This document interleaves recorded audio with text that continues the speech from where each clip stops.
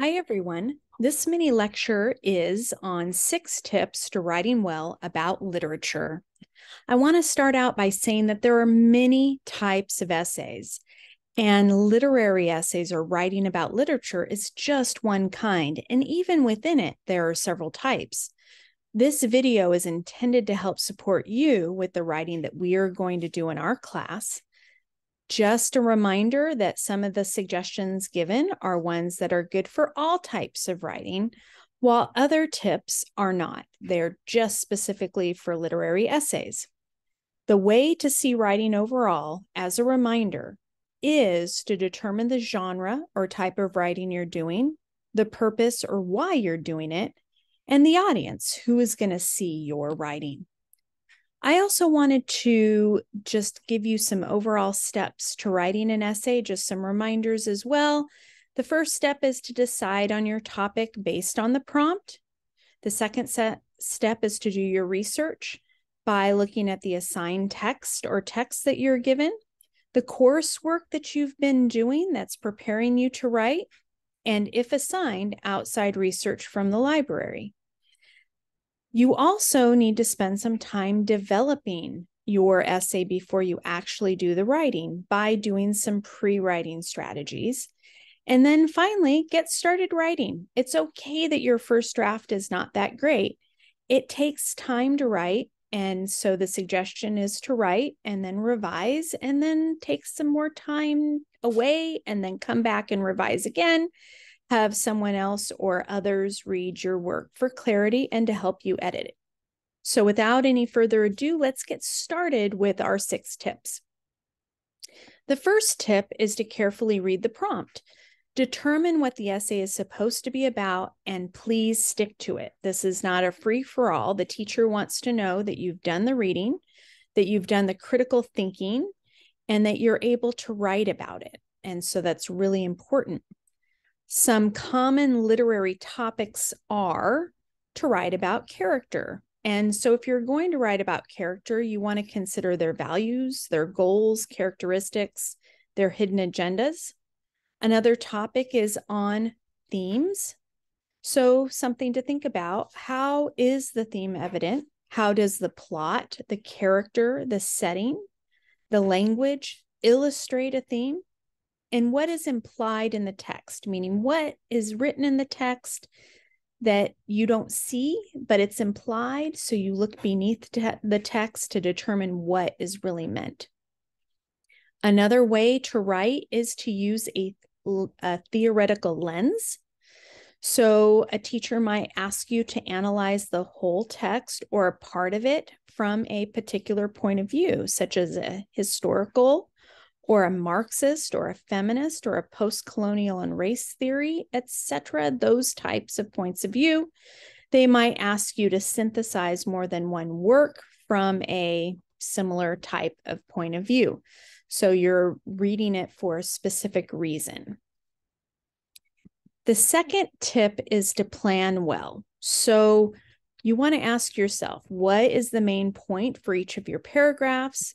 You need to be able to find examples and a hard and fast rule for literary essays. Please do not give plot summary. If you write a plot summary as your essay, you won't pass it because all you're doing is you are showcasing that you might understand what was in the text, but you're not critically thinking about it. A good first thing to do is to make sure you understand it. So, writing a plot summary to make sure you understand what has happened is good, but your essay needs to be based on the prompt and not plot summary.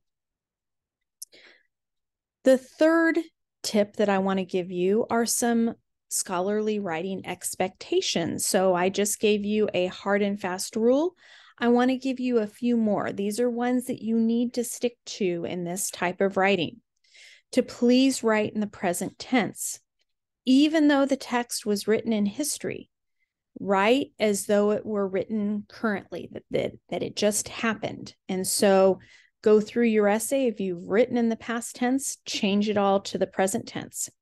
Please write in the third person. So even though you're doing the scholarly writing and it's your scholarly opinion about what's going on, The expectation is to write in the third person, not using I or me or those types of personal pronouns.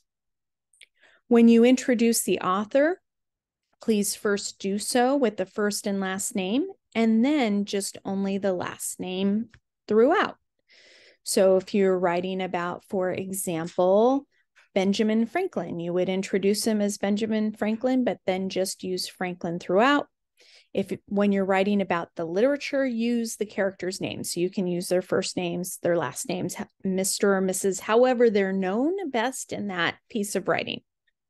And then please cite your sources in text along the way. We need to know what page number your quotations come from very specifically. So do not wait until the end, do it along the way, or you won't be able to do it well. And I will be looking to see that you have found the quotations on those pages. The fourth tip, let's look at the introductory paragraph. So, the basics of an introduction is that you need to make sure that you've covered everything from the prompt you need to include the author or authors, the first and last name, and you know, to begin, and then the title or titles. Um, I want to point out the difference between uh, writing a short text title versus a long text title. Short texts are in quotation marks.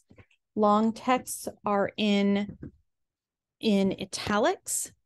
And then you need to write a thesis that answers the prompt. If you need some more support, with your thesis, please go to the optional resources, and I have some support on writing a good thesis there. Also, to make it good, consider including a relevant quotation, an opening hook to catch the reader's attention, and or some relevant background information that the reader needs to know. Now let's talk about our fifth tip, in which I'm suggesting that you use the Peel approach, P E E L approach for your body paragraphs. It doesn't mean that every sentence has to be in this exact order, but generally speaking, this is what you need to consider including when you are writing a body paragraph. So P is for make a point or claim. E means that you need to use evidence to back up your point or claim. And usually that is a quotation, a paraphrase, or details from the literature. The next E means that you need to explain. You need to explain how the evidence supports your point. And then finally, make sure you link this point to the actual topic or the next point. Okay, so link it to your claim, to your thesis, and or make it link to the next point. Some support here for some language that you may want to look at. And this is a good place to pause the video and actually take a photo. This is some language support that you can use, language that you can use in your writing. And this helps to guide you in the types of things that you need to include.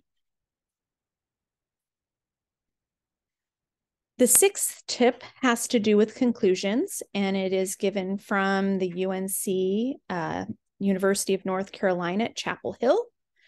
Synthesize your key points, don't summarize. So, what that means is your brief summary of the paper's main points, but don't simply repeat them that the things that were in your paper. So while it is considered to be a brief sum, summary, it's not exactly summarizing all the points in your paper. The goal is to show your reader how the points you made and the support and examples you use fit together and support your thesis. Pull it all together. Some final recommendations start writing early. A lot of times, students will procrastinate because they're scared. They don't know what they should be writing about. So just get started. Just start. And it doesn't matter if you get very far, but start early. That way you can do a little bit of work and then you can add to it a little bit more, etc. Please get help if you need it. The Success Center that we have and the librarians we have can help support you, and they want to help. That's what they're there for. They want to see students and they want to help. So go in and ask. And if the first person can't help you, find someone else. And I have links to the support in your syllabus. Please also trade papers with a peer to get their feedback.